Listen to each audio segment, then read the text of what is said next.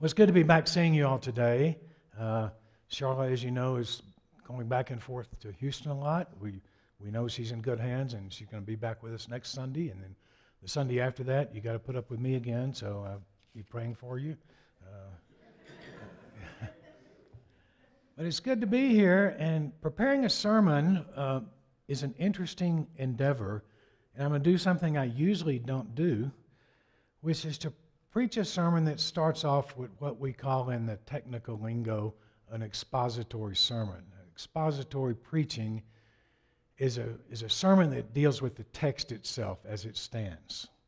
Uh, it dives into the history of the text, how it was produced, the linguistics, the translations, and it, at the end, it often goes a little bit, and the preacher will wrap it up and say, Now, this is what this means.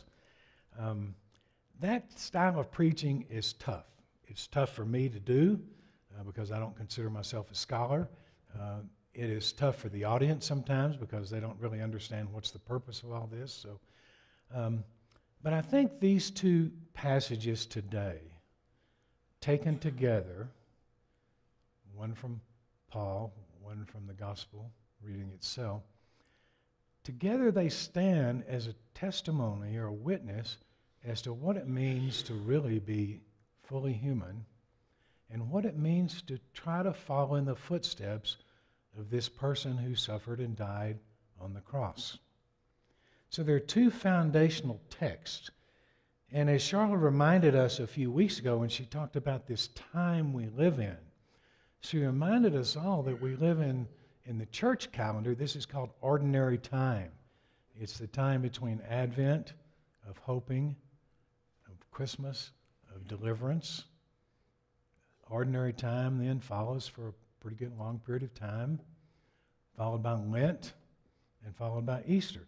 So, this gap between the birth and appearance of the Christ child and the death of Jesus is where we live. That's kind of, we call it ordinary time, but it's really just, just it can be mundane time.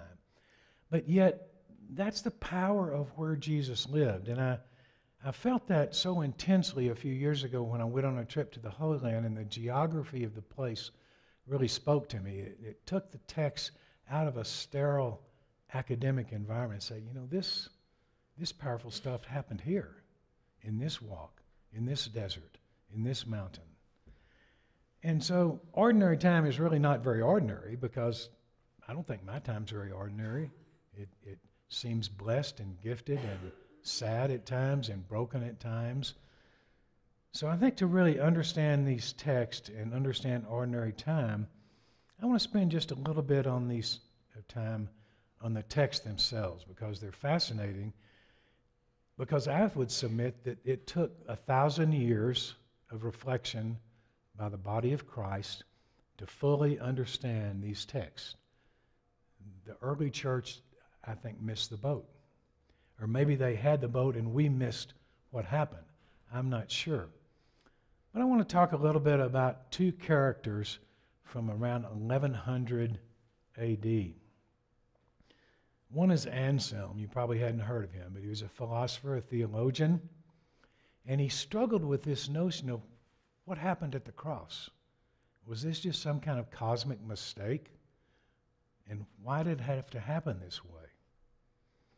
He developed a, th- a theory that was called the transactional model or the objectivist theory that Jesus' suffering and death was simply a ransom that had to be paid to a vengeful God for how messed up we human beings are. That that death and suffering was a payment for our sins. And that was that notion of a sacrificial offering, you have to understand, was deeply embedded in Middle Eastern culture. Not only the Jewish people, but the Babylonian people. There were animal sacrifices. Even Abraham was challenged to sacrifice his own son. So, this notion of a sacrifice to appease God and somehow pay the cost for our sins became deeply embedded in Christianity around 1100. But it took a thousand years for that transactional, sacrificial model to evolve. It's a I had problems with that when I first read about it. It's, uh, I thought, what kind of God would sacrifice his own son for somebody else's sins? I wouldn't do that as a father. Most of us wouldn't do that for our children. Well, about the same time that Abelard was working through this and getting control of the church, another character shows up on the stage named Peter Abelard. Abelard, I can relate to. He's pretty human. Wasn't as theoretical as Anselm, but he developed a, a theory of the cross and suffering that people have called the subjective model. And he says the subjective reason that this happened was not to pay some kind of debt, not to turn God's suffering into a payment for our messed up lives. The reason that God allowed Jesus to die was to act as a witness for love. So it wasn't a payment, it was inspiring us to sacrifice for others. That's a very, very different model than Anselm. And as far as we know, the two never bet, met, but they duked it out like Tucker Carlson and Rachel Maddow would. They're very different understandings of a singular event in human history, and that's the life and death of Jesus Christ. Abelard really, I think, had an insight that we need to reconnect with. That this, whatever happened in the life of, and death of Jesus, it was not only for atonement, but it was to show us how we live with each other, how we love our neighbors as ourselves, how we listen to the voice of the Spirit when we engage a world that is in need of redemption and of healing and of salvation from our own brokenness. I remember reading a book when I was in high school and then college. The movie came out, The Last Temptation of Christ by Nikos Kazantzakis. Kazantzakis was a Greek writer, a poet, a philosopher from the island of Crete. Uh, I've been to the museum honoring his life. It's fascinating. And he wrote a book called The Last Temptation of Christ that was made into a movie by Martin Scorsese, one of his early films. And I remember watching that movie, and the movie struggles with this very notion of two things. One is, at what point in Jesus' life did he become aware of his destiny, of his origins? Was that onset of what I called God consciousness a gradual awakening? You know, we forget that Jesus was a teenager. He was a 16 year old like all of us, and 16 year olds are useless. I mean, they, you know, they, yeah, you need to be, you know, they're not fully formed humans yet. and but Jesus went through that. And he didn't woke up and say, Hey, man, I'm I'm God's son. He'd have been laughed out of his house and slapped upside the head and kicked out of the synagogue. But at some point, he began to see that he had a relationship with the Father that was unique and that was calling him to do something different to preach a gospel, a gospel means good news, to preach good news to a broken world that was intent on seeing everything as a transaction. And how, uh, how Jesus, I mean, Kazantzakis struggles with this. The, the, what that struggle within Jesus' own identity eventually leads him to do is to realize that crucifixion was necessary. He couldn't avoid it. It was not only his destiny, but it was a way he could live and show the love of God to people that were broken, that were needy, where we all live. Kazantzakis' work got banned by the Catholic Church, like Abelard's work did. Got banned, he was labeled a heretic. But I think there's something in the way these two people understood the necessity of Jesus' life and death. So, how does this play out in today's culture? You know, one of the great themes in today's culture, I think you've heard about it from this pulpit before, is what I would loosely call the prosperity gospel. Prosperity gospel means that if you just believe, good things are going to come your way and you're not going to have bad things happen. Well, I've never known that to be true. I've seen bad things happen to good people for 50 years in medicine. I've seen people survive that, and I've seen people die from that, from tragedy. So the question isn't how we dodge that bullet. The question is how do we live with that reality? And what Abelard's gospel says is that humans can flourish, can be all that we're called to be when we love and serve each other. It's that simple. It's not, it's not a hard gospel, really. You know, Dietrich Bonhoeffer, I was talking uh, earlier with uh, a parishioner, wrote a great book called The Cost of Discipleship. And, and he, he wrote this from the prison camp as he was awaiting execution by the Nazis. And the cost we think has to, sometimes we think it has to be a big cost, like the loss of our lives. But it's the small daily costs where most of us live, right? We're called not to do the big things, but to do the little things. And the Greek word for this in Paul's letter to the Philippians is kenosis. And I think I may have mentioned this word one time before. Kenosis is a fantastic word in Greek. And it really means emptying yourself out as a sacrifice. So his image of this sacrificial notion of Jesus on the cross plays out in the Greek translation of the word kenosis. Kenosis, uh, the best way I can give you an image of this that I've used when I was teaching in, at Baylor and in the medical school, you get two, two boxes on a chart. We're the two boxes. We're empty or we're filled with something. And if we empty ourselves to the other box next to us, we empty ourselves out again, and we empty ourselves out again, and we empty ourselves out again, what happens? If those are boxes of water and you took high school physics, you'd say, well, one box of water gets too full, it overflows, and the other box of water becomes empty, right? What Paul is calling us to realize is that in the emptiness, we have the capacity to fill ourselves back up again. And that's the paradoxical, mystical, beautiful nature of the gospel that is only by giving a piece of ourselves away that we can be full again. That doesn't have to be a big giving away. You know, we, we live in this transactional world. Our po- politicians are the worst. They tell us, well, everything's a, a transaction. It's just a matter of negotiating the terms of the contract. But throughout, for 2,000 years, people have told us, mystics have told us, Jesus has told us, that the only way to be fully human is to give a piece of yourself away. Some people find that intimidating. I find it liberating.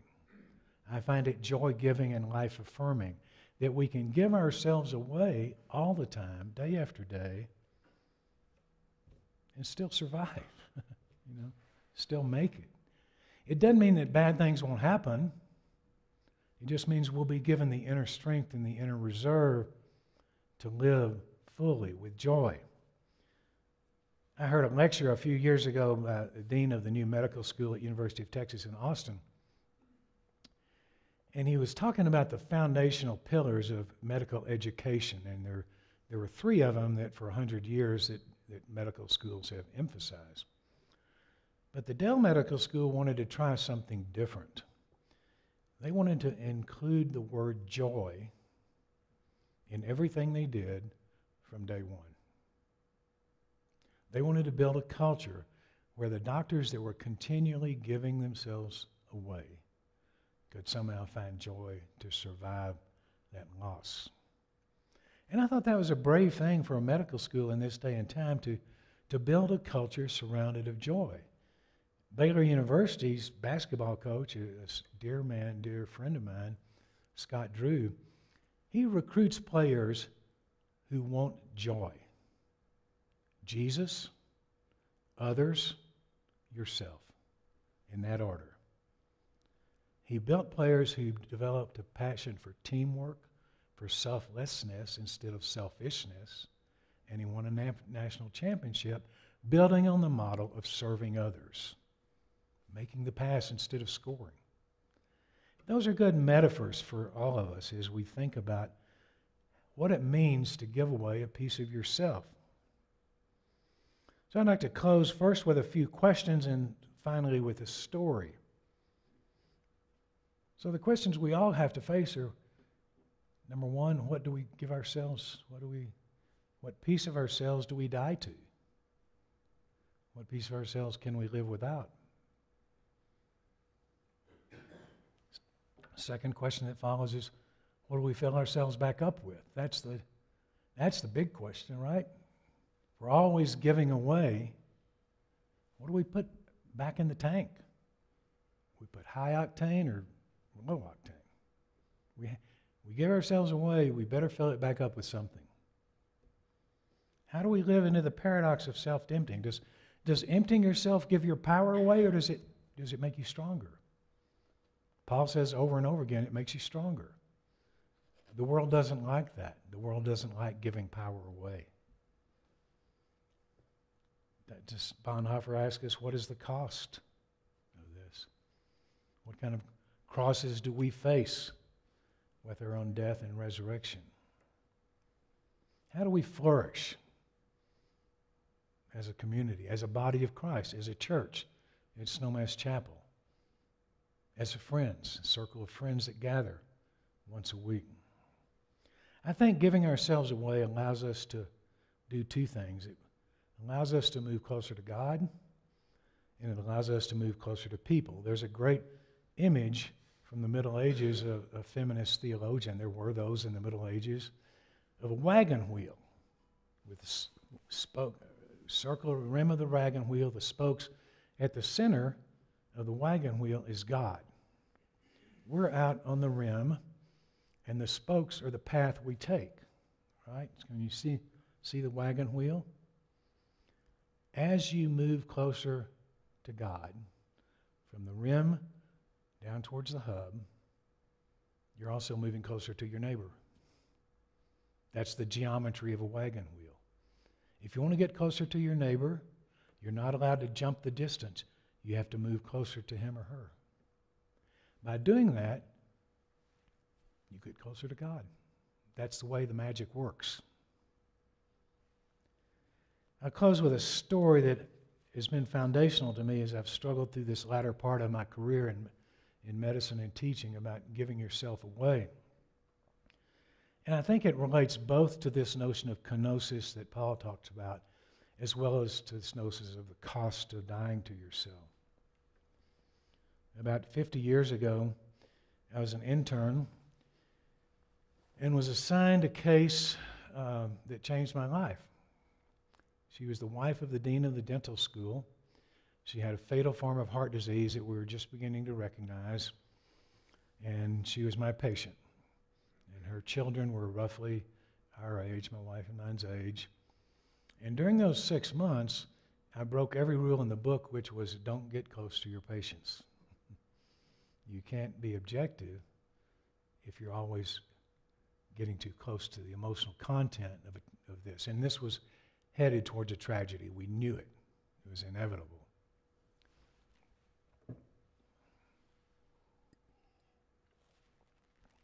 And six months after her diagnosis, after I had become good friends with the family, we had shared meal together, we had prayed together, we had laughed together, we had cried together. My patient died just like I knew she would. And my professor of cardiology, a Jewish genius whose family had perished at Auschwitz, said, Mike, you need to go to her autopsy. We need her heart for the research we were doing into her diagnosis. And I said, Well, please don't ask me to do that. I went and I held this woman's heart in my hands that I had cared for and broken bread with and prayed with. And we wrote the paper. We remained friends for the rest of my time in my training program, and I went into cardiology because of her and her death. And after we moved from Kentucky, I kind of lost track with the family, like happens. Things happen, life moves on. And two months ago, the daughter of my patient, who was daughter was 19 at the time, reached out to me. Hadn't heard her, from her in 50 years. She looked me up on Google, reached out to me. We reconnected this wonderful friendship with her and her husband and her two brothers that we all hung out with when we were young and foolishly uh, involved with this life we, we thought was going to be perfect. And we've had this wonderful reconnection. And she told me once in, in one of these exchanges we've had, she said, I don't understand how you had the time to take care of me while you were taking care of your mother, my mother. She said, I was falling apart, and you're the only one who would ever stop and ask me, How are you doing? So, giving yourself away doesn't mean you close the door to growth or to compassion or to healing. I think it opens the door for us to grow into who Christ is calling us to be. This notion of service, whether it's in medicine or teaching or consulting or whatever it is you do, to do it well, you've got to be willing to take those risks to give a little piece of yourself away. But I can tell you from this one experience that my patient shared with me and her family now 50 years later is that that's what makes it wor- work. I would submit that kenosis and the joy that it brings is the antidote to despair. It's the way we're given the strength to get up in the morning and face the mystery of a world that continues to baffle us and wound us and give us joy and give us meaning. And we don't like that notion. We're, we're trained to avoid pain. But I think that Paul would tell us, and Jesus has showed us, that dying those little deaths to ourselves are what allows us to get a glimpse, however small it may be, into the living, breathing, infinitely beautiful kingdom of God around us here every day in the chapel. Amen.